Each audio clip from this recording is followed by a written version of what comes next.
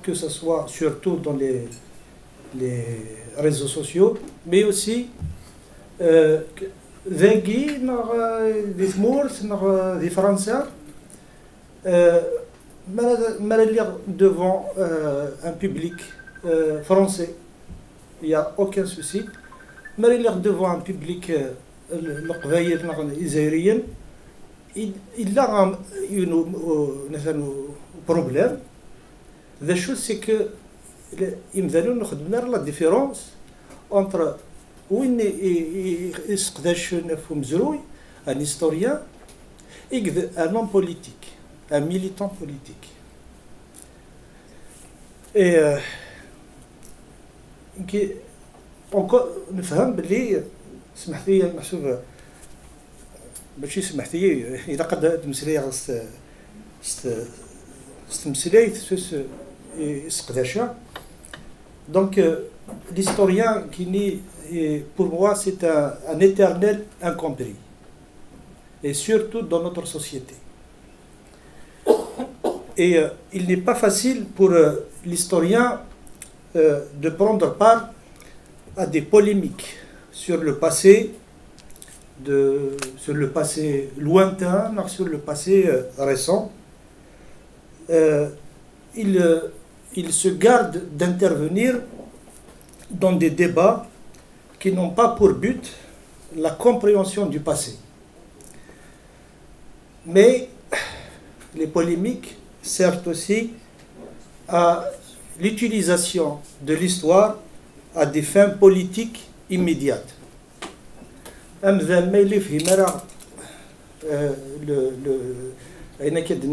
le, point guiné, hein, il va confondre l'historien avec euh, euh, le militant politique il faut que euh, la polémique cède sa place à un débat apaisé et fécond.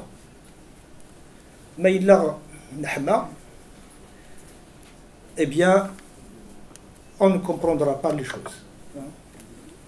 Il a au, romo et à romoner au sensualière tout de suite. Il faut du temps pour se rendre compte que euh, la polémique a servi plutôt euh, des, questions d'aujourd'hui ou de demain. Les, qualificatifs, les qualificatifs de euh, traître, de harki, de patriote ou de héros ne font pas partie du vocabulaire de l'historien. C'est un traître l'autre c'est un héros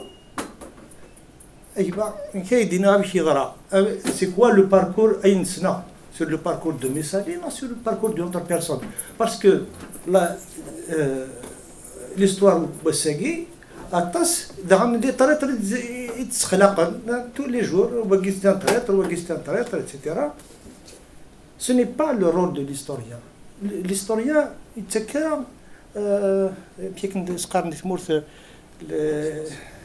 les attestations d'anciens moudjahids, ce n'est pas son rôle. Euh, le rôle de, de, de l'historien est bien sûr de comprendre ce qui s'est passé et d'exposer les résultats et ses recherches et bien sûr ses hypothèses aussi l'historien dépend de ses sources. Mais il a les archives. Mais il a les témoignages. Euh, ben, on ne va pas produire quelque chose de très poussé. Donc l'historien, bien sûr, et dépend aussi de ses questionnements, mais aussi il dépend de ses, de ses sources. Donc, euh, comme je l'ai dit tout à l'heure, l'historien n'est pas euh, la mission euh, n'est pas de donner des points de, bravoure ou de traîtrise, euh, de légitimer ou de délégitimer des personnes. Ce n'est pas mon rôle et ce n'est pas le rôle de tout historien. Moi je dis, les historiens disent, écrivent, c'est à, à, tout le monde, c'est au lecteur d'en tirer les, les enseignements, les, il faut euh, aussi euh, replacer euh, les événements dans leur contexte. En fait, le contexte, mais il a, et c'est ce qu'on voit dans les débats aujourd'hui, à des une information, mais on sait dans quel contexte. Et ça sert à quoi?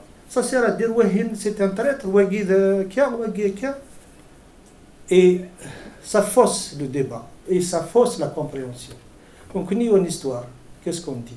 On dit que à chaque fois, euh, le contexte, eh bien, on ne comprendra absolument rien. Donc, le contexte pour l'historien est extrêmement important. Et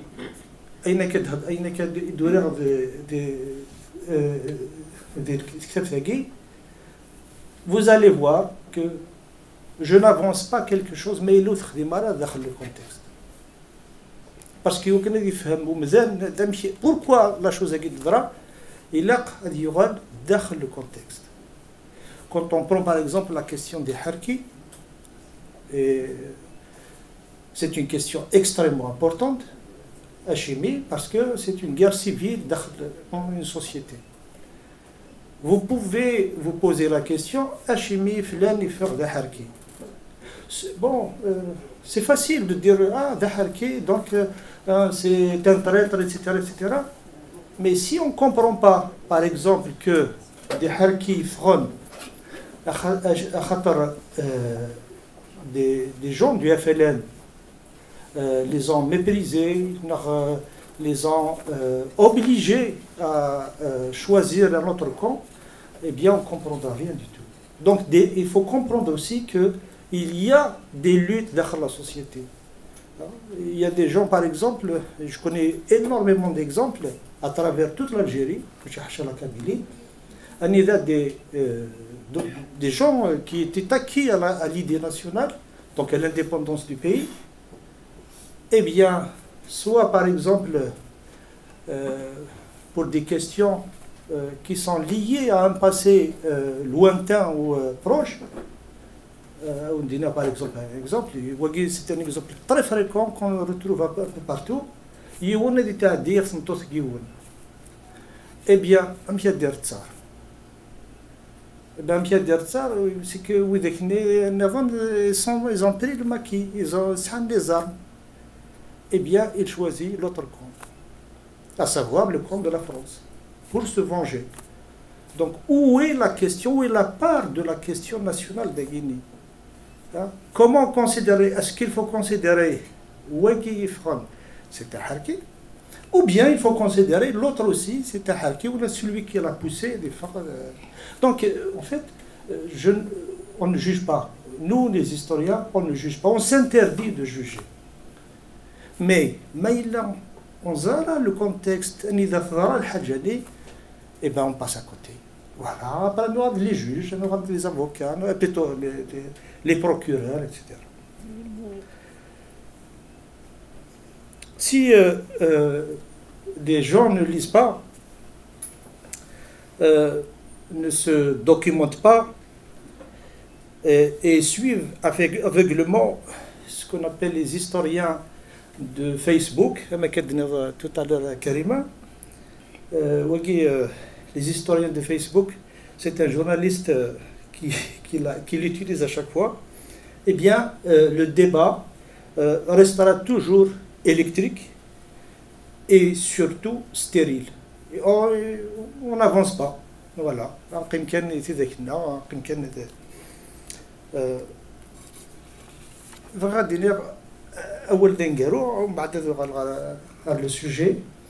En fait euh, il y a l'ignorance. Il y a au moins deux sortes d'ignorance. Il y a l'ignorance naturelle oui euh, je ne le connais pas. Je suis ignorant de son parcours.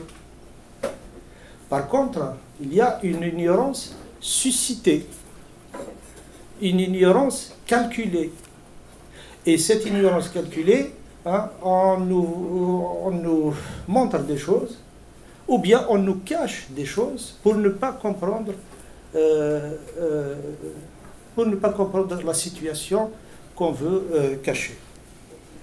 Donc on l'appelle l'ignorance programmée.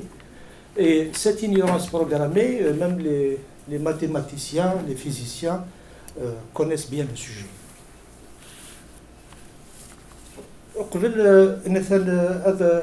Avant de présenter le livre, j'aimerais bien donner quelques petits points sur la crise de 49. La chimie, parce que le livre est divisé en deux. La première partie, donc, c'est la crise 49. La deuxième partie, c'est la guerre, mais c'est surtout euh, les conséquences de cette crise. Il faut comprendre qu'il y, a a un débat. Et ce débat a commencé en 49. Berbériste ou pas berbériste?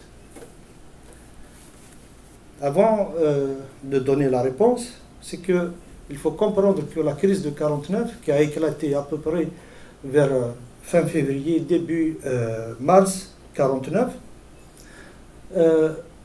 des problèmes ont commencé depuis 1945. La question posée, un l'indépendance. Et euh, je précise une chose extrêmement importante, c'est que la crise de 49 est une crise interne à un parti qui s'appelle le PPA, Parti du peuple algérien, MTLD, Mouvement pour le triomphe des libertés démocratiques. Et euh, tu m'as demandé de donner quelques petites informations. C'est que le, PPA. Euh, euh, plonge ses racines dans les années 20, l'étoile nord-africaine. Et l'étoile nord-africaine, le premier, euh, son, but principal, c'était l'indépendance du Maroc, de la Tunisie et de l'Algérie.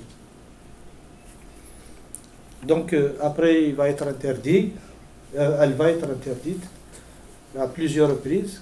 En 1937, Messali et euh, ses camarades euh, décident donc de créer le PPA.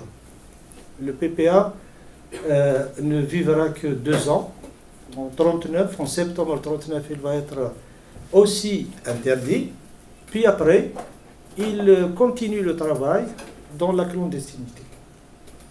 Pendant toute la guerre d'Algérie, plutôt pendant toute la Seconde Guerre mondiale, elle est dans la clandestinité à l'époque, euh, Messali et le parti interdisaient les élections, de, la participation aux élections. Ben euh, c'est-à-dire où ils votent et la porte à tête kafir. Messali euh, a été euh, emprisonné, déporté au Congo, Midoral, Dural, il est passé par la France, je reviendrai sur les détails après, et machin, et tout. Il arrive euh, en Algérie et il euh, demande au parti de participer aux élections, de créer le MTLD et de, participer aux élections. Guy, c'est le premier point de friction entre la direction du PPA et euh, la Kabylie. Mais pas seulement la Kabylie. Et donc, depuis longtemps, euh, le vote euh, c'est péché, c'est guide. On va et le vote, hein, le vote. Donc, Messali leur a expliqué, etc. Il y a eu un débat, mais les militants de Kabylie n'étaient pas d'accord, n'étaient pas satisfaits.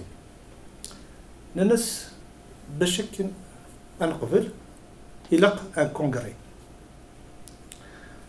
Et euh, la Kabylie a été euh, soutenue par la fédération d'Oran et la fédération euh, du Constantinois.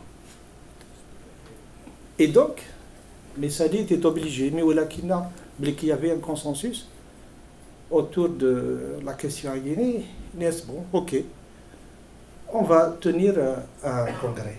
Le congrès s'est tenu en février 1947.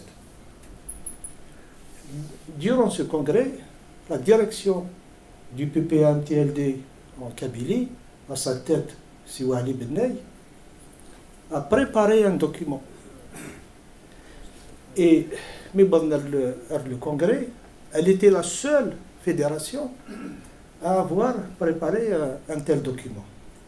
Qu'est-ce qu'il demandait? Il demandait la démocratisation du parti. Mais nous sommes par exemple, les postes. Les postes, euh, il faut que ce soit du, il faut que les gens ne soient pas désignés, mais plutôt élus. La pratique du parti, c'est que, par exemple, un congrès, et puis, Messali prend son temps, euh, quelques semaines ou bien quelques mois après, il convoque les, nouveaux cadres. Donc, il y avait un manque de démocratie qu'ils ont dénoncé. C'est que, il dit le congrès de 47, c'est que, ok, nous sommes tous pour l'indépendance depuis, depuis l'étoile nord-africaine. Mais on n'est pas d'accord sur une chose. Quelle stratégie? L'indépendance. Et en plus, l'indépendance. Et après,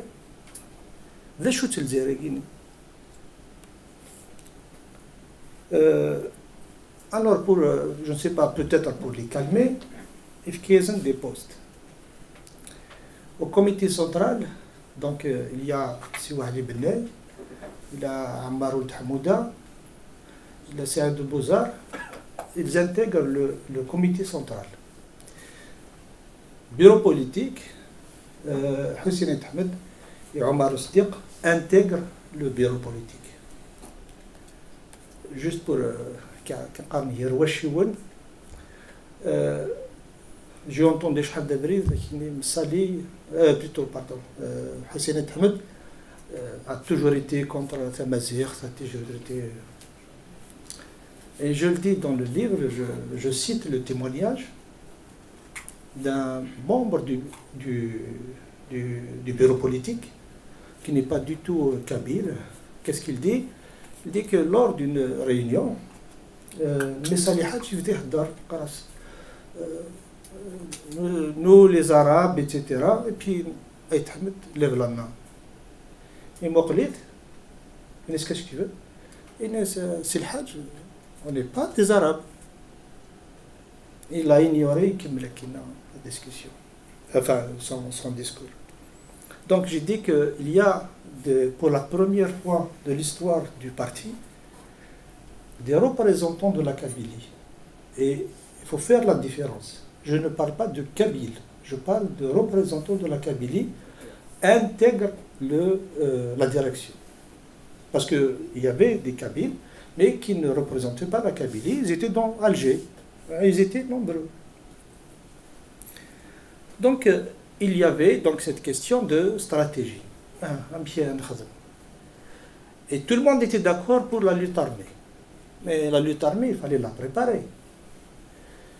Et donc la fédération de Kabylie avec d'autres fédérations, hein, tant qu'on lâche quelque chose de sérieux, eh ben, on va arrêter euh, de verser les cotisations. Et sans les cotisations, donc le parti va mourir euh, asphyxié.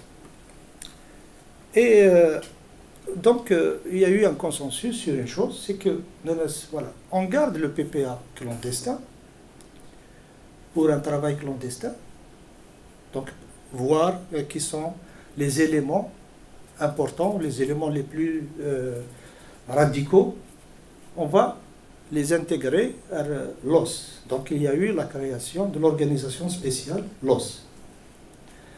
Et pour un travail légal, une affiche légale, on, crée le MTLD. Voilà. Euh, Ahmed devient très vite euh, le chef de l'OS parce que le chef, euh, son, vrai, son premier chef est malade, donc euh, est malade, donc il a été remplacé par Aït Ahmed.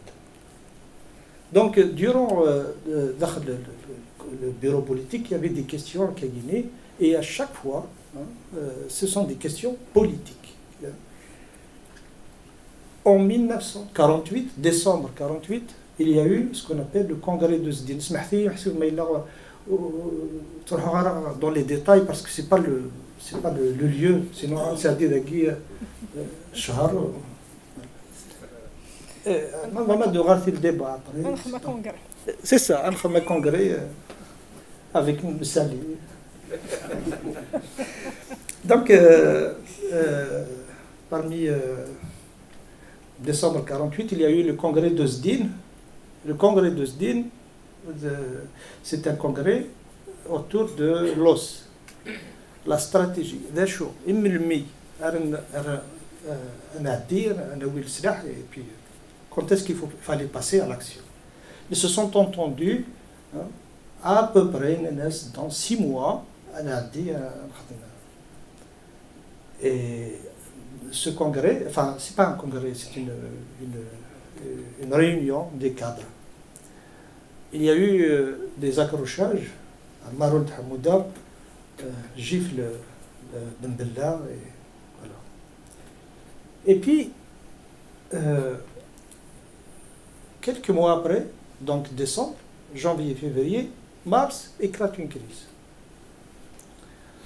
Et le témoignage de Aït Ahmed, il est la crise est Quand j'ai posé la question à, à Youn, qui qui est un anti-kabyle primaire, est-ce que vous ne pensez pas le témoignage, je l'ai publié. Hein. Vous ne pensez pas que euh, les ont été donnés parce qu'il y a eu des arrestations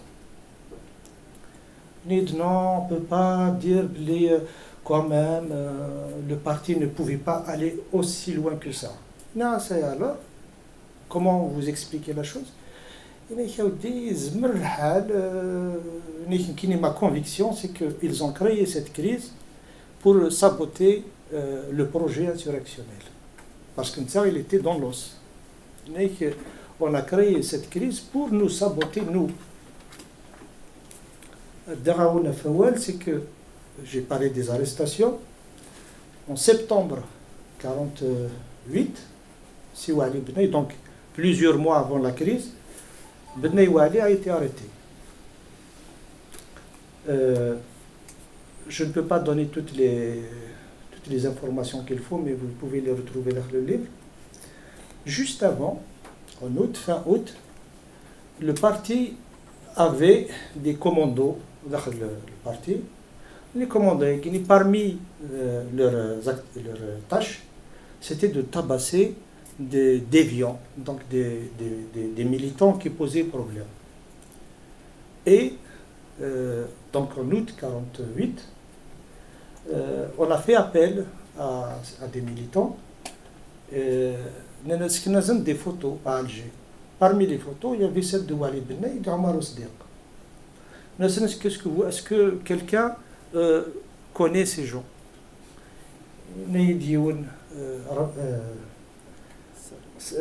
Salim Ramdani, en fait, je connaissais la tête de Ben mais je connais Wegi. Et alors, qui connaît? Il y avait à peu près euh, 7 à 8 personnes qui connaissaient la, tête de Ben Ok, c'est voilà, on vous donne une mission. Le jour tel, l'heure telle, Ben a dit dans une rue d'Alger, et c'est ça. C'est ce que nous avons fait. Oui, on a commencé à le tabasser. Ben Ali, il s'est défendu et il m'a rattrapé. Je sais qui t'a envoyé. Je sais pourquoi tu t'as envoyé. Et toi, tu ne sais rien du tout. Mais moi, je sais. Et mais fais attention. Donc il a été arrêté quelques jours après à Oran. Il voulait quitter euh, l'Algérie clandestinement parce qu'il était clandestin. et il a été arrêté dans le, port d'Or. Au Siddiq, il a été arrêté quelques jours après, en octobre 48. Et d'autres vont être arrêtés en 1949. Alors, cette question berbériste ou pas euh, berbériste. En fait, le livre, toute la première partie, une bonne enfin, de deux chapitres, je montre comment cette crise n'est pas une crise berbériste. Pourquoi? Il faut le berbérisme à l'époque euh, comment ce vocable a été utilisé par le parti. À l'époque, berbériste voulait dire antinational. Voulait dire quelqu'un qui avec le colonialisme, hein, des alliés du colonialisme. Comment Benay, euh, qui était clandestin depuis 1945, euh, qui était un cadre qui, euh, qui s'est toujours battu pour que l'Algérie se libère par les armes, pas seulement lui, tous. C'est un, c'est un antinational. Et voilà. Donc, quand je dis que cette crise n'est pas une crise berbériste, c'est parce que le mot berbérisme à l'époque voulait dire ça. Alors, si vous acceptez ça, ben, c'est autre chose. Donc, euh, des militants indépendantistes euh, qui étaient accusés de, de tout à fait l'inverse. Hein. Donc, si vous êtes berbéré, si vous êtes comme ça, donc vous êtes des alliés du colonialisme. J'ai posé la question parce qu'il y aura une deuxième crise berbériste hein, en 1956. Et j'ai posé la question au chef de la Fédération de France, du FLN à l'époque, enfin l'un des cadres, euh, c'était un Kabyle d'Alger. Et Nias, euh, euh, qu'est-ce qu'ils ont produit? Tout d'une manière vraiment naïve. Nias, bon, je suis chercheur, et donc voilà, il a écrit des documents. Est-ce qu'ils ont. Donc, vous avez accusé de berbérisme en 56, est-ce qu'ils ont produit des documents? Ça n'a rien à voir avec le berbérisme. Je dis alors pourquoi vous les avez accusés de berbérisme?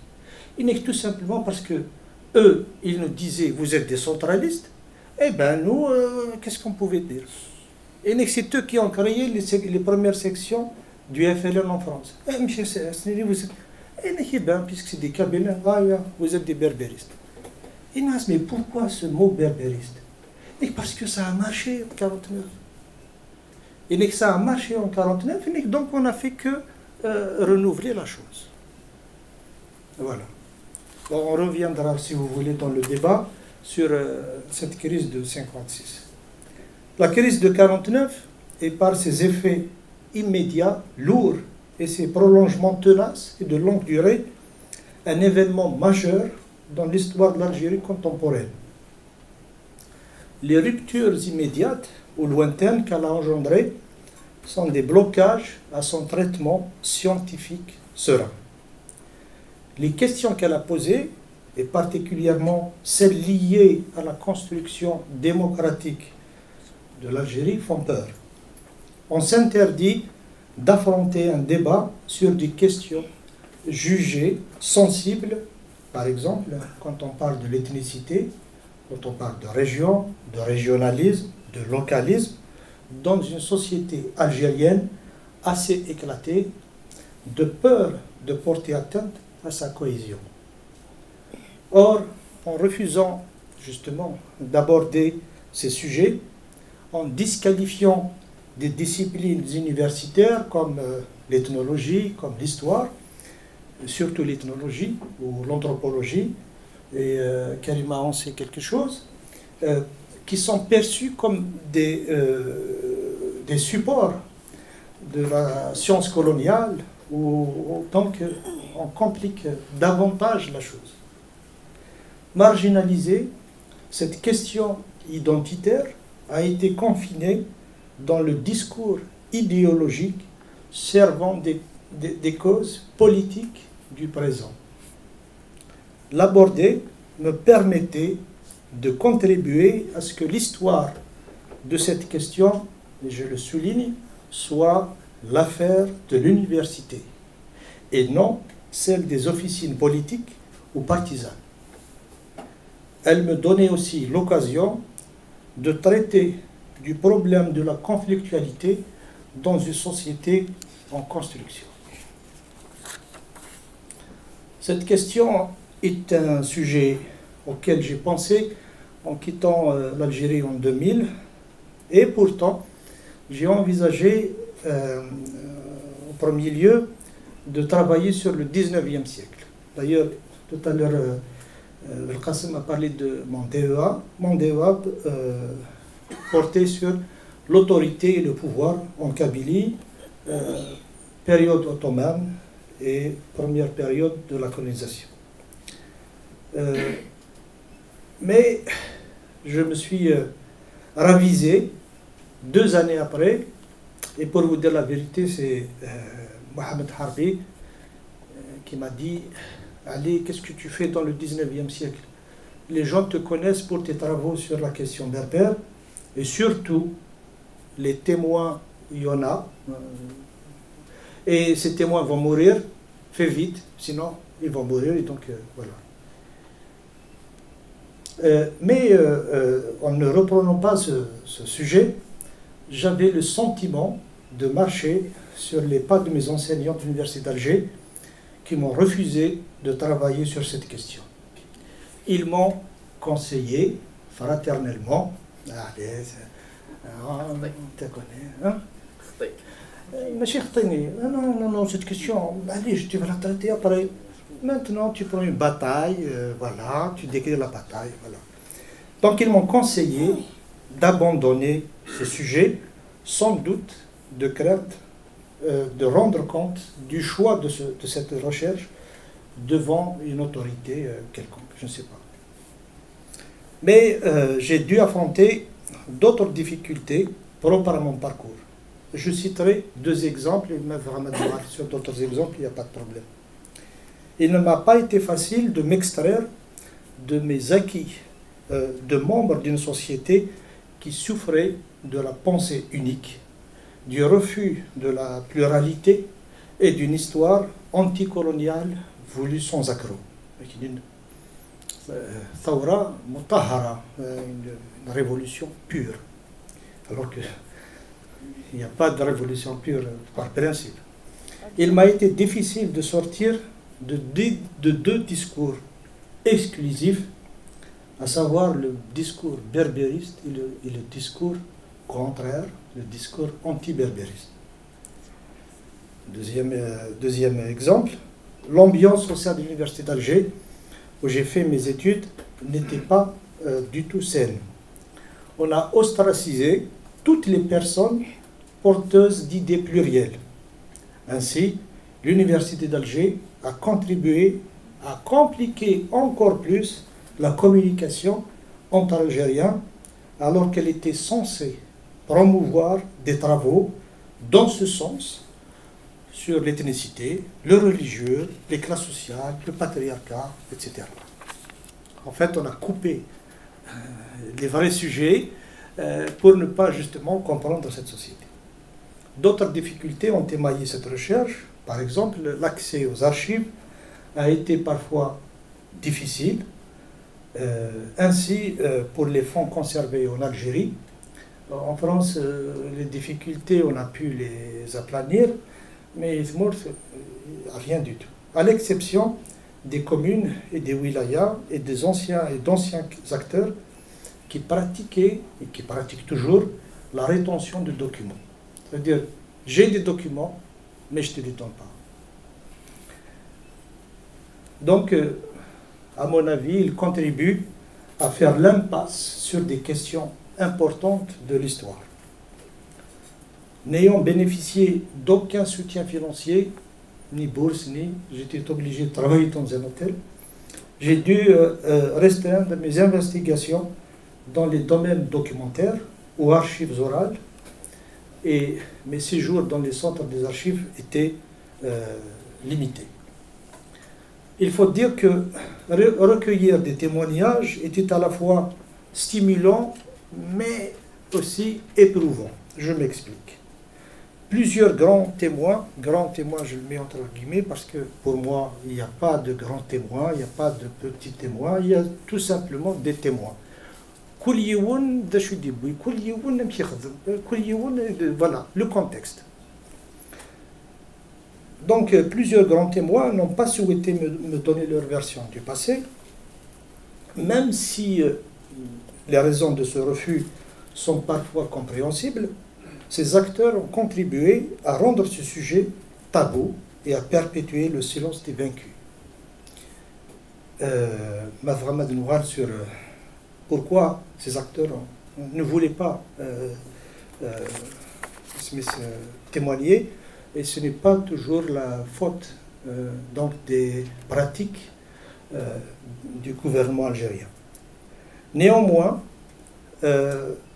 j'ai eu le plaisir et la chance de rencontrer, d'interviewer, de côtoyer d'anciens acteurs, cadres ou militants de base, intellectuels ou analphabètes, du mouvement national et de la guerre d'indépendance. Leurs témoignages m'ont non seulement éclairé sur les silences de l'archive papier, mais ils ont contribué à me dévoiler la complexité des rapports politiques et humains qui ont lié les cadres dirigeants du PPMTLD entre eux, et aussi du FLN-ALN. Ainsi, les débats sur les questions de nation, de nationalisme, de la langue, de la religion, de la région, qui ont mobilisé ces acteurs durant les années 40 et 50, me sont euh, révélés sous un, angle nouveau. L'exploitation du témoignage oral a parfois été une, une, tâche très rude. Il fallait euh, remédier aux oublis, je le mets entre guillemets parce que euh, nous connaissons les psychologues, les psychanalystes, qu'il n'y a pas d'oubli. Hein, parce que la mémoire, euh, on la suscite, mais la mémoire aussi oublie ce qu'on veut oublier. Hein. Donc faire face à l'autocensure, surtout lorsqu'il fallait aborder certains sujets qui fâchent. Alors, parmi les sujets qui fâchent, euh, vous savez que tout mouvement euh, est traversé par des contradictions Quand on parle de différents, euh, non, je suis rara, vous rara. Bien sûr, on comprend pourquoi. Parce qu'il ne faut pas que vous voyez des arts. il fallait si je dis quelque chose contre Ahmed ou contre une autre personne, ah, comment les gens vont, vont prendre ça? Donc, il n'a pas été facile pour ces acteurs de s'exprimer sur des, des moments de douleur, de désaccord entre les camarades d'un même camp. Certains engagements, dont des initiatives jugées aujourd'hui incorrectes, ont été totalement gommés. Euh, mes questions sur certains sujets, comme par exemple le maraboutisme ou l'implication des chefs de Kabyle dans la euh, chasse des contestataires de 1949, n'ont pas eu de réponse chez un grand nombre d'acteurs. Pourquoi Wagui, euh, pourquoi il était contre vous? Je ne trouvais pas de réponse. La mémoire du groupe devait être préservée sans tâche. Donc chaque groupe a préservé sa mémoire et l'autre ne l'attaque pas. Certains témoignages m'ont été donnés sur le sceau de la confidentialité en lien avec mon origine kabyle. Il y en a mais je ne cite pas le nom, mais Ali Zred, faut pas, القرار تسفر سيكني خاطر مولش دوار دوار voilà. Hein. Euh, qui veut dire, je te dis des choses, mais tout ce qui touche la Kabylie, il hein, faut le cacher. Ne dis pas. Hein. Donc il faut, euh, en fait, ce que le pouvoir a fait, à savoir euh, gommer les choses, ben, ils n'ont fait que la même chose. Ce sont les mêmes pratiques certains témoignages, euh, il m'a été euh, euh, demander d'en faire bon usage et de ne pas trahir la mémoire des acteurs décédés. Oui, en fait, oui, il tout. Il ne faut pas dire des choses qui portent atteinte à leur, à leur mémoire. Alors, donc il ne faut rien dire. C'est-à-dire que là où, des, questions se posent, ou des problèmes euh, se sont posés dans le passé, eh bien non, tout simplement pour donc, sauvegarder la mémoire du, du, groupe. Et euh, ce travail, euh, qui propose aussi une étude critique des archives écrites, montre les limites et les contradictions des divers rapports de police et des services de renseignement. Donc c'est vrai que euh, je me suis beaucoup appuyé sur euh, ce que j'avais, ce que j'ai eu comme archives, à savoir les archives de la police euh, française et des services secrets français. La démarche de cette recherche a été guidée par une question fondamentale, comment le référent identitaire kabyle est devenu un analyseur important, pertinent de l'histoire euh, politique de l'Algérie contemporaine et du nationalisme radical et indépendantiste.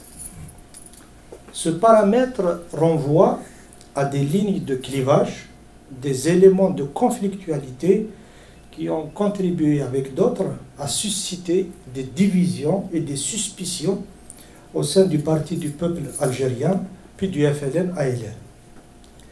Ces ingrédients qui sont au principe de la lutte euh, politique évoluent dans un cadre socio-historique et géographique bien déterminé, à savoir le nationalisme algérien euh, depuis 1945 en Algérie, en Kabylie et en France.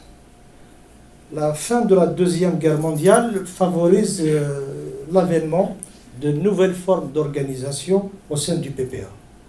Une nouvelle génération émerge, porteuse de nouveaux questionnements sur le fonctionnement du parti, le projet insurrectionnel, mais aussi sur la définition de la nation algérienne. Donc, euh, le groupe de Benaknour, même si euh, euh, eux n'utilisent pas, ou du moins n'utilisaient pas en 1949 cette définition groupe de Benaknoul, mais on leur a collé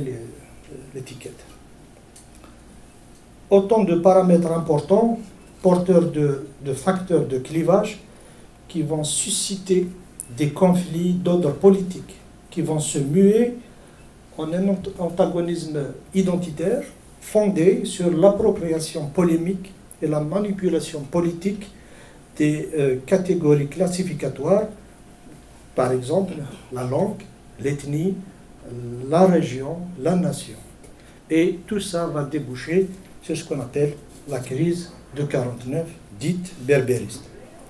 J'ai montré comment la question, la construction identitaire a élaboré par des hommes de religion, les ulama, pour définir l'identité algérienne, de même que la euh, ventilation des composantes ethniques de l'Algérie en arabe et berbère, faite par les administrateurs coloniaux, repose sur quelque chose d'extrêmement important, la falsification de l'histoire. J'ai évoqué dans ce même registre l'indissociabilité du politique et du religieux et surtout le principe du consensus. Euh, j'ai montré l'histoire de la gestion de l'ethnicité par le nationalisme radical et l'émergence d'un mouvement identitaire kabyle.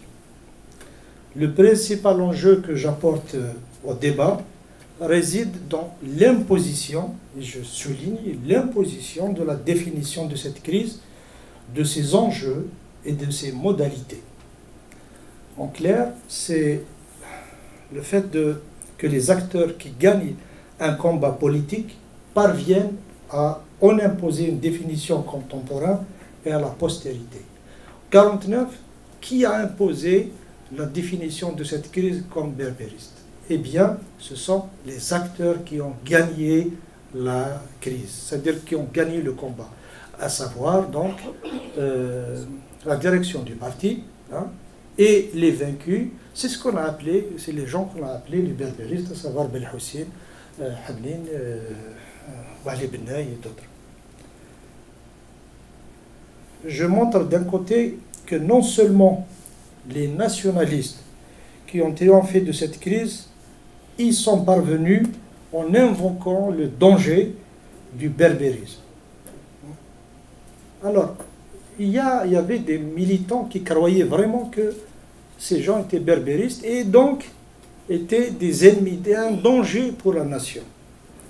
Mais la plupart des cadres du parti, je parle bien des cadres, euh, savaient que c'était une stratégie. Une stratégie, un, pour les isoler dans, le parti, mais aussi pour isoler la Kabylie dans le mouvement national. Et cette stratégie hein, continue. Je montre d'un côté, euh, pardon, euh, donc euh, les mêmes militants qui sont parvenus à consolider leur position dans le parti en jouant sur des mécanismes clientélistes ou régionalistes. quand je parle de clientélistes ou régionalistes, c'est-à-dire que en, disant, en montrant les Kabyles comme étant des, ennemis, hein, des dangers, des ennemis de, l'intérieur, hein, on favorise donc une partie de cette euh, direction à émerger, à prendre la place. Pourquoi? Parce qu'en 1947, plusieurs cadres, surtout de l'Algérois, ont été évincés du parti et donc on a donné les places donc à ceux que j'ai cités tout à l'heure. Donc cette crise a donné sais pas comment on appelle, euh, l'occasion pour ces gens de revenir. De plus on est anti-berbériste, de plus on s'intègre dans la direction.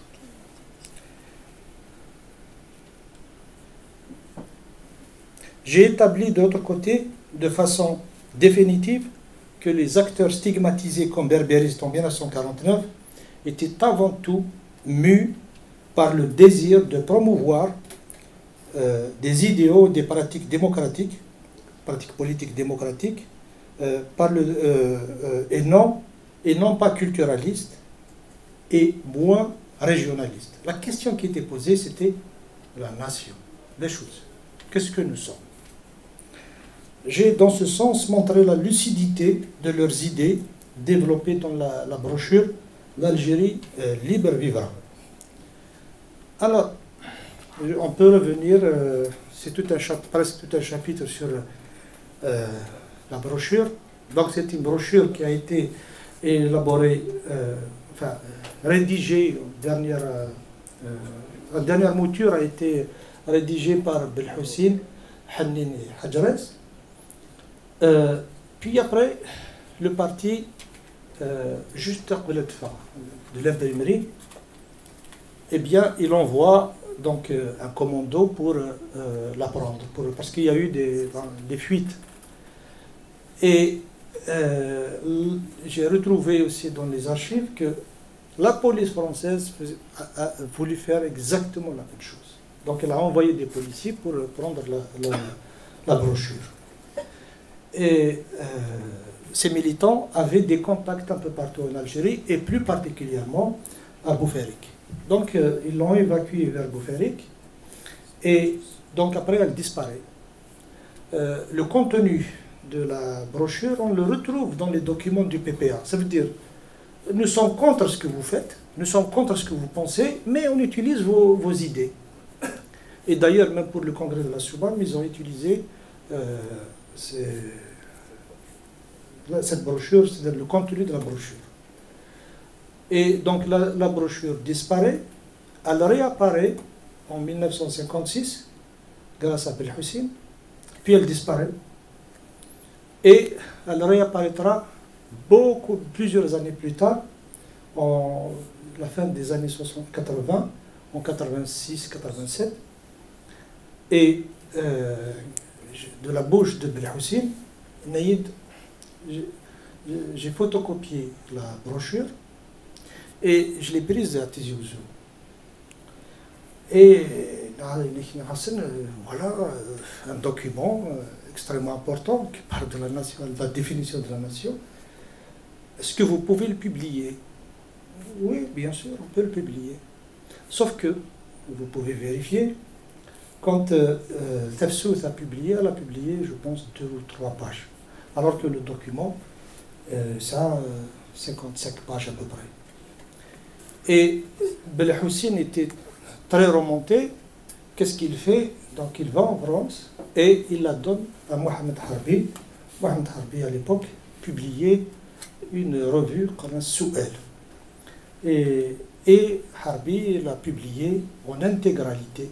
Pas seulement en intégralité, mais il, euh, euh, le témoignage de Belhoussine qui expliquait donc euh, dans quelles conditions cette brochure a, vu le jour. Donc, si vous voulez, on, peut, on, peut, on pourra revenir sur cette brochure.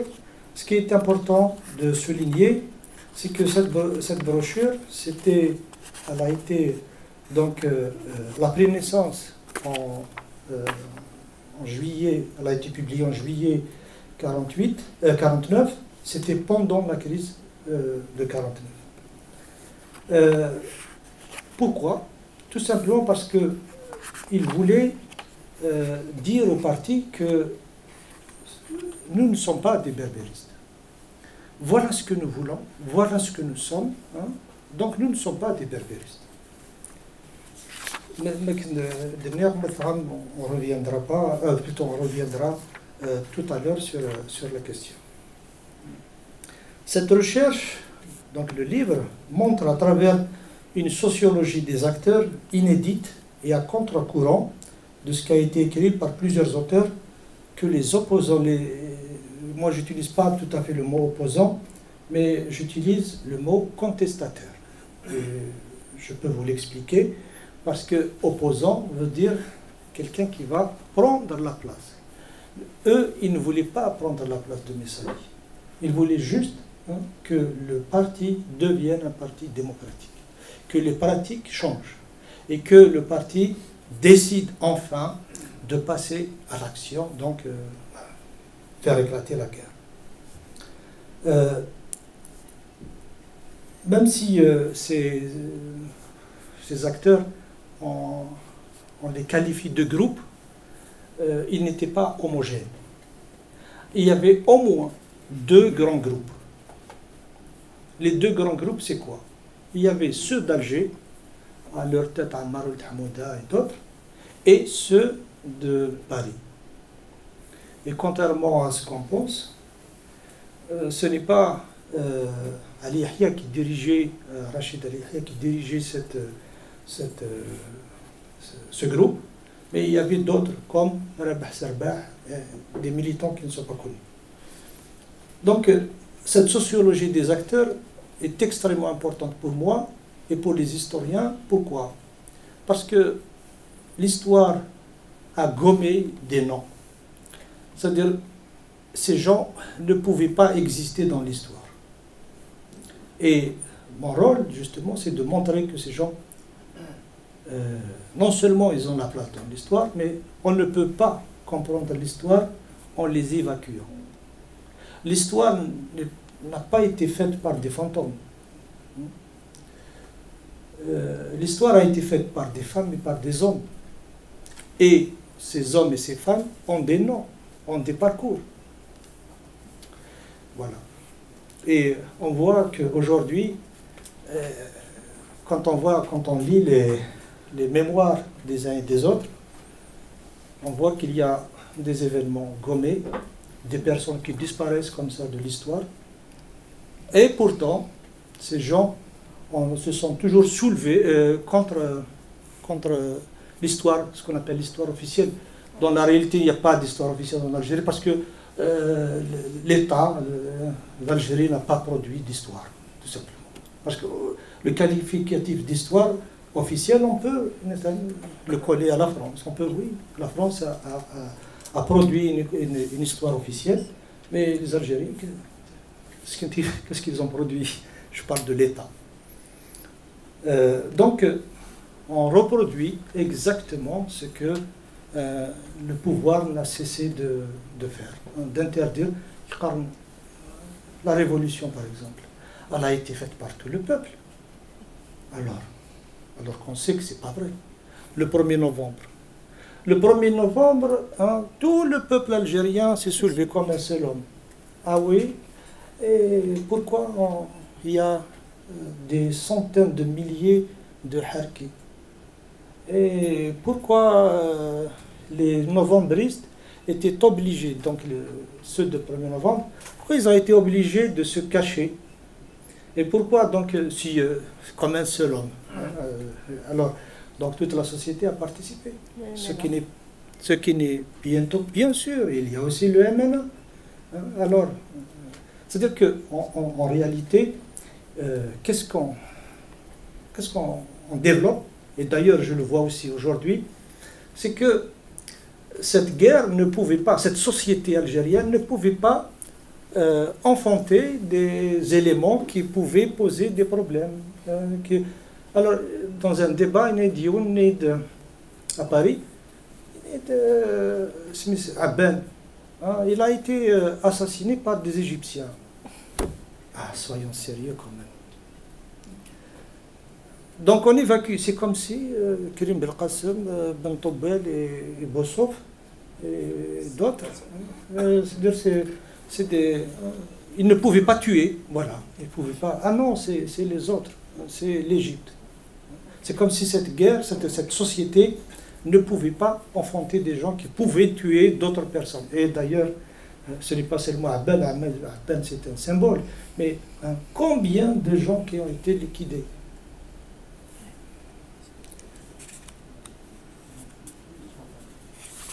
Alors, euh, aussi, j'ai démontré que, euh, contrairement à ce qui a été dit et écrit, que la crise de 49 a été longue.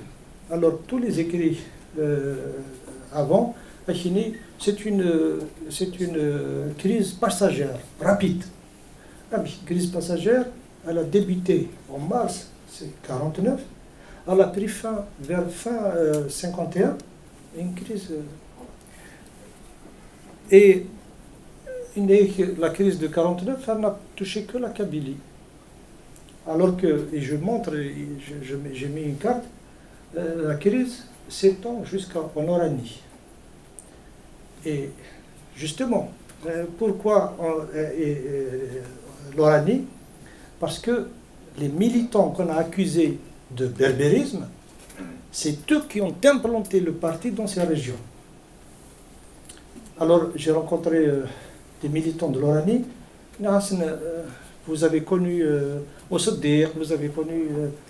C'était une provocation de ma part, les berbéristes. Ah, Comment ça, des berbéristes? On les connaissait. Hein. Ils étaient nationalistes. Parce que, comme je l'ai dit tout à l'heure, il faut comprendre que le concept de berbériste, enfin le vocabulaire berbériste, à l'époque, ça voulait dire des anti-algériens. C'est eux qui nous ont formés. On les connaissait, on savait, ils, ils ont inculqué le nationalisme dans nos têtes, et aujourd'hui, on nous dit, euh, enfin en 49, on nous dit non, c'est des berbéristes, des gens qui, qui voulaient, euh, qui travaillaient pour la France. C'était inadmissible. Voilà.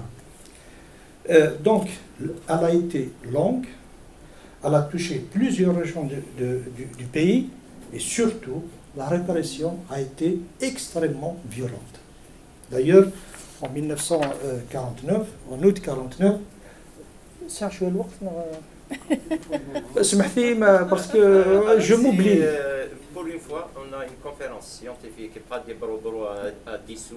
Ça fait un Allez-y. Parce que Maïla a appelé la il va bien me le dire.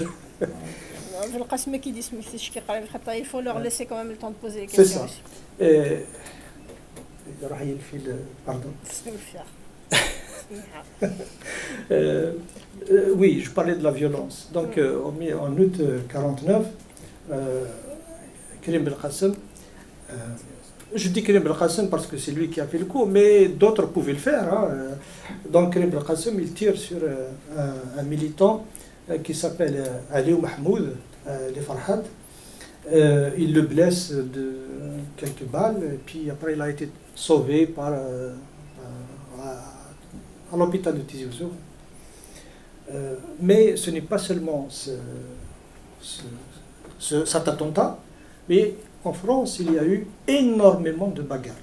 Même dans mon livre, euh, parce que vous savez, quand vous, publiez, il faut, euh, faut que le nombre de pages soit, euh, là c'est 512 pages, 512 pages, les éditeurs refusent de, de, prendre des livres volumineux.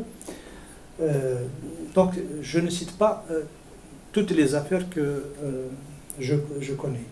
Donc plusieurs bagarres ont eu lieu à Paris, mais pas seulement, aussi dans le, dans les régions, des autres régions, par exemple à Rouen, à Marseille, euh, dans l'est de la France. Et euh, on a à chaque fois que euh, donc ces contestataires voulaient se réunir, on leur envoyait donc ces commandos pour détruire la, chose. Et on est allé même, c'est-à-dire voilà, la, la, violence physique. Mais au-delà de la violence physique, il y a aussi la violence verbale. Parce que quand vous, euh, dites que vous êtes, vous êtes réellement, euh, vous croyez à la chose et que quelqu'un d'autre non, en fait, tu penses exactement l'inverse. Ça fait mal. Et le problème, c'est que ce vocable de berbériste a fonctionné depuis. Et il fonctionne toujours. Euh, à chaque moment, il y a une crise, pour disqualifier ces Kabyles, ah, c'est des. Et peut-être euh, qu'il y a des militants, d'anciens militants d'Agui ou des militants euh, d'aujourd'hui, peuvent, ils pourront en témoigner tout à l'heure. Et comme je l'ai dit tout à l'heure, euh, j'ai cité le militant d'Alger, mais il y a, d'autres euh, témoignages qui vont dans le même sens. Alors, c'était quoi le berbérisme? Ça veut dire? Et je dis, mais alors, mais comment, pourquoi vous les avez tabassés, etc., pour berbérisme? Mais tu sais, moi, on m'a dit qu'il y a des gens qui, euh, qui touchent au parti, qui touchent à Messali. Moi, qui, celui qui touche à Messali, qui touche au parti, euh, je le tue. Voilà. Donc, euh, c'est une violence suscitée, c'est une violence programmée, hein, et à Macadamia, à travers, pas seulement en Algérie, mais aussi à travers toutes les sections du parti. j'ai mis en évidence le poids de la crise de 49 dans la mise à l'écart de la Kabylie et de son encadrement par les dirigeants du PPMTLD de 49 à 54. Ce qu'il faut savoir, c'est que jusqu'à 49, jusqu'à la crise de 49, les dirigeants de la Kabylie, à leur tête à étaient à la pointe. Ça veut dire que les débats, c'était eux. Et ils ont, dit tout à l'heure, implanté le parti à travers, euh, je ne dirais pas l'Est, l'Est c'était un petit peu euh, plus difficile, mais l'Ouest, hein, ils ont implanté le parti. Et quand j'ai interviewé euh, euh qui était le contrôleur du parti, du PPA, après 49, j'ai trouvé un Kabyle qui était à la, à la tête du parti à Tindouf. Ah, qu'est-ce qu'il faisait? Eh bien, il y avait euh, une mine. Il travaillait dans la mine. Et il était en relation avec, euh, avec Ammar Hamouda. Et c'est Ammar Hamouda qui l'a implanté, voilà, va implanter le parti dans cette région. Donc, euh, voilà, c'est son encadrement jusqu'à 49 était vraiment extrêmement important de le parti, jouer un rôle extrêmement important. 49, la crise, euh, donc on les exclut. Et vous savez que quand vous êtes dans un parti politique, même si je n'ai pas vécu, euh, j'ai jamais appartenu à un parti politique, mais euh, je sais que quand on est dans un parti politique et quand on est exclu du parti, c'est la mort politique pour ces gens. Pourquoi? Parce que le PPA à l'époque, pour y adhérer, il fallait être convaincu. Pourquoi? Parce qu'on pouvait être arrêté. Hein? Et, donc appartenir à ce parti, puis euh, exclure, hein, eh ben, c'est une mort politique. Et pour vous dire, certains exclus, euh, euh leurs femmes. Donc vous voyez à quel point hein, la violence, la violence de cette crise. À partir de 49, donc la direction envoie des gens pour euh, euh, réprimer, pour exclure les C, soi-disant berbéristes, et euh, met en place une nouvelle direction. Contrairement à ce qu'on pense, donc c'est Krim Belkacem qui a donc, dirigé cette fédération jusqu'en 1962, c'est pas, pas juste, parce que le parti a envoyé quelqu'un d'autre. Karnes Iwashu, qui veut dire que c'est un gars de, de Bijaya. Et euh, son nom va me revenir, du Smith. Et puis, euh, euh, ce militant, donc il travaillait avec les deux, à savoir Ouamran et Krim. Pourquoi je dis que c'est extrêmement important pendant cette crise, plutôt cette période de l'histoire,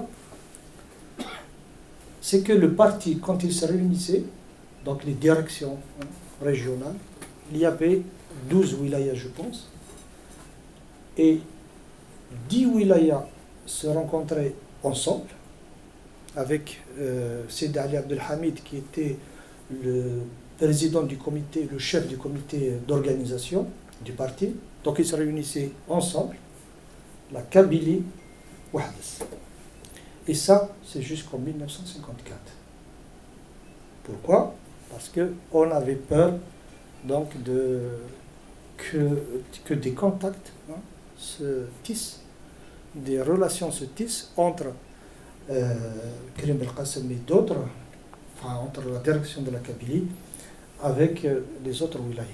Et d'ailleurs, en 1954, quand euh, euh, il y a eu des négociations, ils ont cherché qui connaissait Karim. Est-ce que ben, il y avait très peu. Deuxième chose, c'est que l'encadrement de la Kabylie jusqu'en 1949 était un, était un encadrement, j'allais dire intellectuel, pas tout à fait, mais c'est des gens de l'université grave, et donc qui posait des questions et qui apportait des solutions à des choses. À partir de 49, ce sont des maquisards. Donc leur niveau est un niveau élémentaire. Et d'ailleurs, après, ça va se répercuter sur l'encadrement à partir de 1954, de 1954 jusqu'à 1962. J'ai montré pour la période de la guerre d'indépendance comment la Kabylie s'est imposée comme une région pivot dans la lutte libératrice et a permis à ses cadres de jouer les premiers rôles dans la direction du FLN à et d'être perçus comme hégémoniques dans la conduite de la guerre d'où l'exaspération du sentiment anti-kabyle chez leurs concurrents. Aussi, euh, une fois, il y avait quelqu'un qui m'a euh, reproché que non, euh, on a dirigé la guerre parce, tout simplement parce qu'on était plus intelligents, plus intelligents que les autres. Alors qu'en histoire, mec dit tout à l'heure, si on ne prend pas l'événement dans son contexte, ben, on ne comprendra rien. Euh, si on prend, c'est vrai, euh, que les Kabyles ont dirigé hein, pendant un moment la guerre, à savoir en 56. Abben dirigeait le FLN. Euh, la wilaya 3, la wilaya 4, la wilaya 6, la fédération de France était dirigée par des Kabyles. Dire comme ça, oui, c'est parfait. Sauf que, il faut voir pourquoi ces gens. La Méroche a été envoyé aussi chez les, les Orex. Voilà, pour euh, faire régner l'ordre et euh, faire accepter les décisions du Congrès de la Alors, euh, te fais confiance, hein, mais là, si je dépasse, il En fait, qu'est-ce qui s'est passé? C'est que le 1er novembre 1954, l'Algérois n'a pas d'éléments euh, pour euh, faire le premier coup de feu. Donc, qu'est-ce qu'ils ont demandé? Voilà, on manque d'armes, on manque de, personnel. Est-ce que vous pouvez nous aider? Qu'est-ce que Karim a fait Il délègue euh. Et Ouamran a pris euh, un certain nombre de personnes, d'éléments, et chez pour faire le premier coup de feu en, dans la Métidja, Blida, Boufarik, etc. Alors, on se pose la question, mais pourquoi? Pourquoi l'Algérois n'en avait pas alors que la Kabylie avait euh, de l'excès, enfin, euh, plusieurs militants Eh bien, tout simplement, ça se comprend. Tout simplement, la Kabylie n'a pas été touchée par la crise de, 1940, de 1954 du PPA toutes les autres régions d'Algérie ont été touchées. Donc, qui veut dire déstabilisées. Seule la Kabylie est restée unie. Vous comprenez maintenant pourquoi je vous disais que le parti, hein, quand il se réunissait, toutes les sections, sauf la Kabylie ou Et donc, quand arrive, d'ailleurs, il découvre cette crise la découvre en mars 54, alors que la crise a commencé plusieurs mois avant. Découvre la crise. Ah, qu'est-ce qui s'est passé? Et c'est comme ça que, et comment ils l'ont découverte C'est grâce à une lettre d'un militant euh, envoyé de France pour euh, informer. Voilà, euh, il y a une crise au sein du parti. C'est comme si ça allait de la crise. Alors que dans d'autres wilayas, ils savaient. Et donc, on, pour la Kabylie, c'est des gens qui sont restés il n'y avait pas de contact, où il y avait peu de contact avec les autres régions d'Algérie. Et il y avait aussi l'autorité de Krim et de Ouamran, parce que souvent on cite Krim et on oublie le rôle de Ouamran, qui est un rôle, à mon, à mon avis, qui est un rôle extrêmement important. Et donc, ils étaient euh, intransigeants sur plusieurs choses, par exemple la discipline. Et la plupart de l'encadrement, la plupart des cadres euh, de, de la Kabylie étaient des, des filles, hein, des, clandestins, donc des hommes en armes. Voilà. Donc, Krim envoie Ouahmaran et il fait le premier coup de feu dans cette région. En se retirant, il a été euh, dans la région de Palestro. Euh, donc, à cheval entre la Kabylie et Alger en février 1955, euh, le chef de la zone 4, qui va devenir Wilaya 4, est arrêté, l'État. Et l'encadrement, les cadres se rencontrent, euh, et ils ne sont pas du tout euh, ils se rencontrent et se disent, bah, comme, quoi faire? Ben, il n'est que euh, Souidani Boujma, bah, écoute, on connaît Wamran on connaît euh, Krim ils sont juste à côté on a des contacts avec eux puisque Alger et la Kabylie c'est juste à côté on va demander à, Krim de nous aider et donc euh, Smith Swidani Boujma et les autres, euh, contactent Krim. Et Krim euh, oui, pourquoi pas. Et il délègue euh, Et donc Ouamran devient le chef de la zone 4 qui va devenir plus tard Wilaya 4. Voilà comment Ouamran est devenu. Donc ce n'est pas une intelligence, ce n'est pas un Bien sûr que Ouamran était intelligent.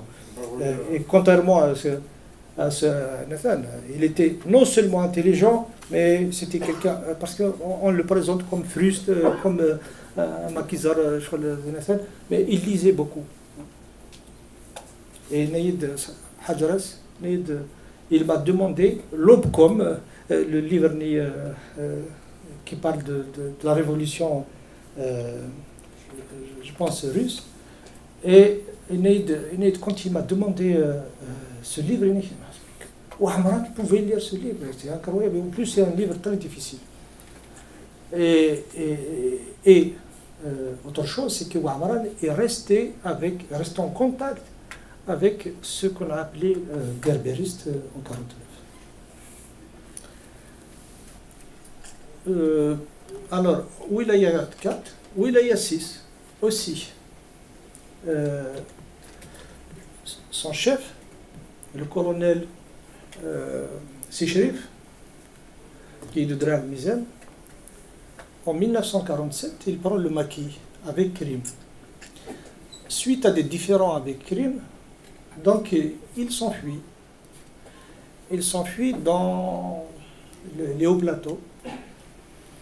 Et quand il arrive au haut plateau, il enseigne le, le, le Coran parce que c'était un, un, Et donc, euh, c'était pour lui une couverture, mais aussi un moyen de, voilà, de subvenir à ses besoins.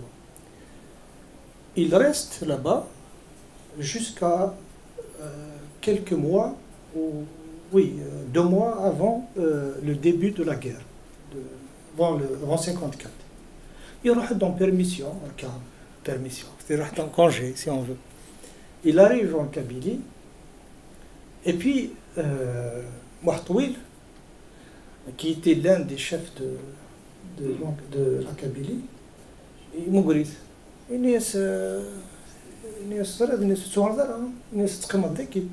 Pourquoi? Parce qu'il préparait, préparait le passage à la Lutarne.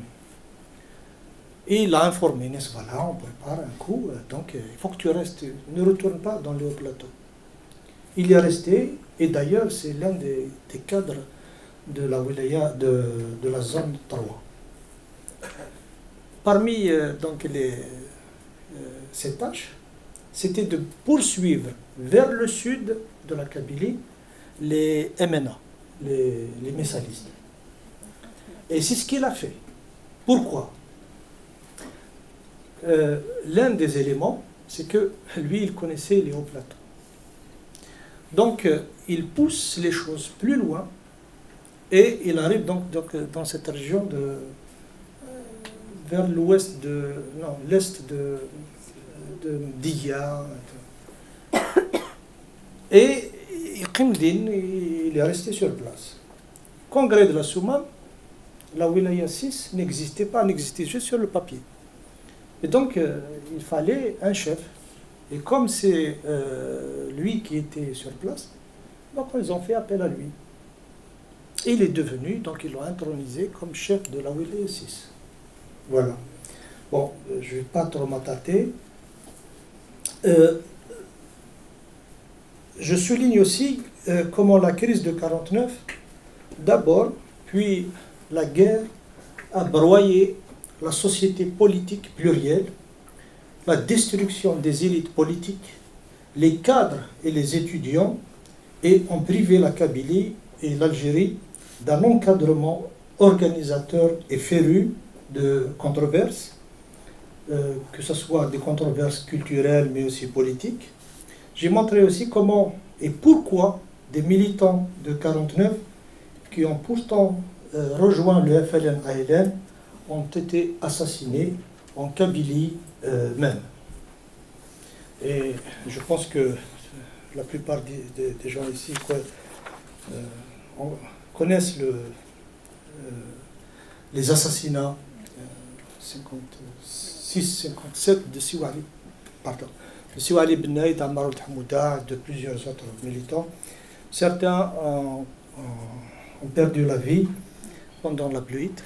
Euh, il y a un militant qui est très mal connu, enfin, c'est Saïd Dakhli, Saïd Stilo.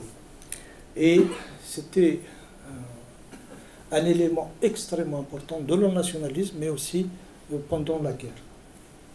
Il a été liquidé dans l'affaire de la Bluide. J'ai décrit les conséquences du congrès de la Soumane et l'extension territoriale de la zone puis Wilaya 3 et j'ai cartographié à travers une carte inédite les changements opérés entre le 1er novembre 1954 et le 20 août 1956.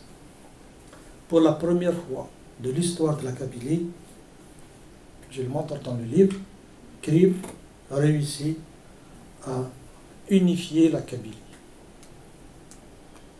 Il a réussi là où, euh, où Ali Benay a échoué en 1945. Parce que c'était aussi une demande en 1945 de Wali Sdir, de Ali euh, pardon, de Ahmed, etc. Ils ont demandé au parti de cette région, après le 1945, a été déstructurée. Vous savez que donc cette, cette, cette région de Kabylie hein, a euh, subi donc les massacres de mai 45. Ils ont demandé, voilà, puisqu'il n'y a pas d'encadrement, on va la prendre en charge. Pas touche. On ne touche pas.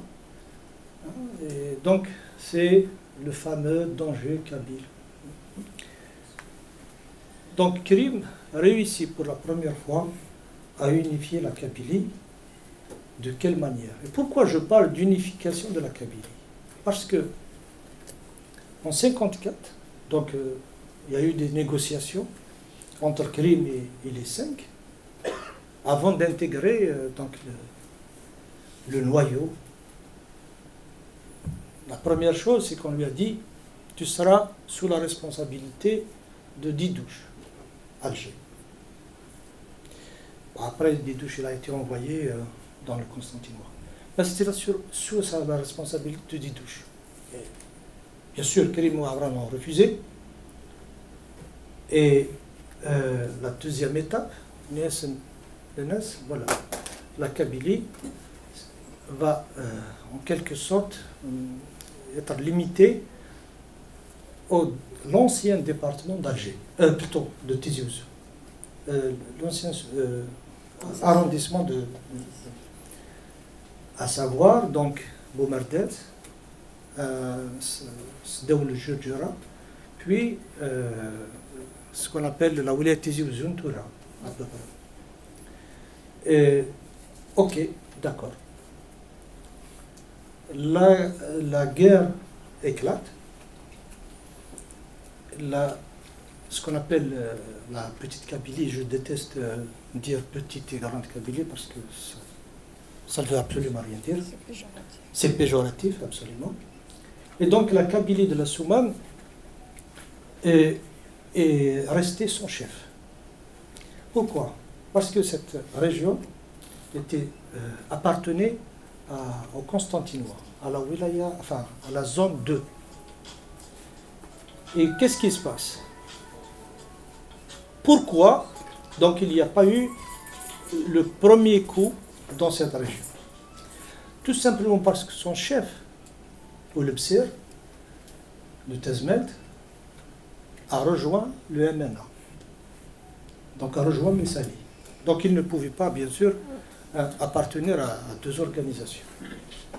Et donc, euh, qu'est-ce que fait Krim? Donc il installe donc, le FLN dans cette région.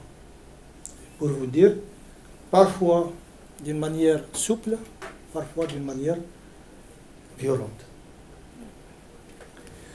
Et en 1956, euh, congrès de la Soumane, Krim s'est accaparé euh, tout euh, ce qu'on appelle aujourd'hui la wilaya de Bijaya, mais pas seulement. Il va vers le sud jusqu'à Msila. Et on dit, c'est posé le problème au Congrès de la Soumane. D'ailleurs, il y a eu des, problèmes, les discussions étaient houleuses. Et donc après, bon, c'était un peu trop tard, puisqu'ils sont là.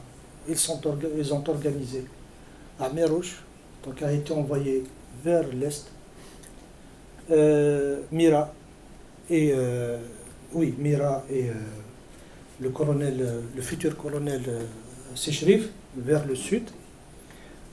Mais en arrivant dans ces régions, ils ont installé l'organisation. Donc c'est voilà les dirigeants du, FLN, ALN en, 1956 au Congrès de la Soumam étaient face à, une situation de fait, voilà, on est là, c'est-à-dire que c'est nous qui occupons. Alors qu'en 54, toute la Kabylie de la Soumam jusqu'à jusqu'à à, appartenait à la zone 2. D'accord. Euh, j'ai montré euh, la place euh, prépondérante de la Kabylie dans le contrôle de l'immigration en France, ce qui m'a amené à mettre en exergue pour la première fois une deuxième crise berbériste en 1956 en France. L'ethnicisation du débat a été lancée en 1949. La propagande anti-kabyle est depuis ressassée à chaque crise politique majeure au moment de lutte pour le pouvoir ou de contestation du pouvoir depuis 1962. Il a, euh, on a voulu, depuis 1949, isoler la Kabylie des autres régions du pays et euh, circonscrire les contestations démocratiques à la Kabylie. Pour terminer, euh, comme vous le savez, et il est difficile, comme je l'ai dit tout à fait euh, au début, d'être historien dans une société euh, dans laquelle certains ne cherchent pas à comprendre le passé, mais plutôt à justifier des positions du moment et à donner des versions rassurantes de l'histoire, loin de l'objectivité que m'impose ma discipline. J'espère euh, avoir apporté au moins quelques éléments, une contribution à l'histoire contemporaine de la Kabylie et de l'Algérie.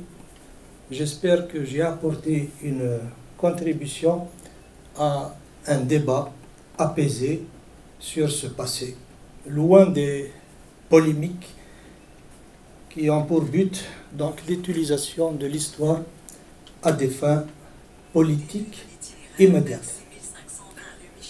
Et je vous remercie et j'attends euh, vos questions. D'accord?